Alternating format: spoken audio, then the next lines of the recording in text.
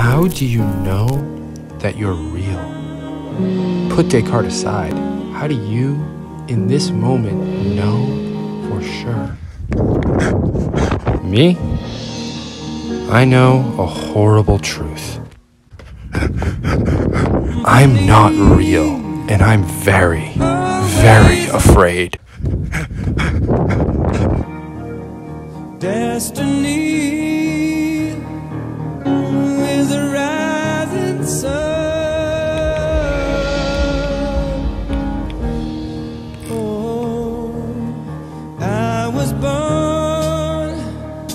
six gun in my hand, behind gun. I make my final stand. That's why they call me bad company, and I can deny. Bloody hell, Dean. Escaping again? Well, yeah, because this life is a lie. You're suffering from manic delusions. You're not well. This hospital is here to help you. This hospital is a prison. Can I offer you a cup of tea? Could you be any more stereotypically British? I mean, God, my goodness. What are you gonna do? Offer me a scone next? I mean, admittedly, we do have some scones in the pantry.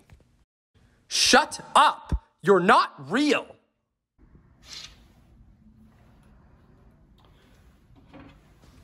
Now, why don't you believe that I'm real? Well, I don't know. Maybe because of this!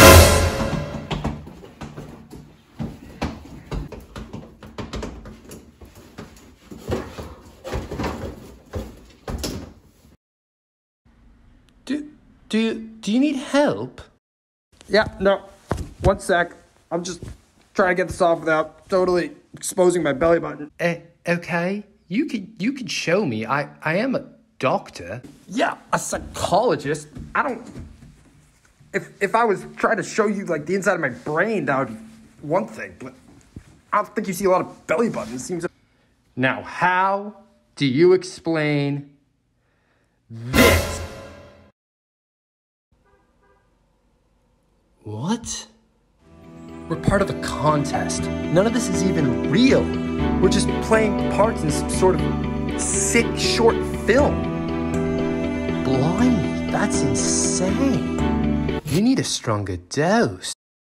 We are all very real, I assure you. Prove it. Pardon?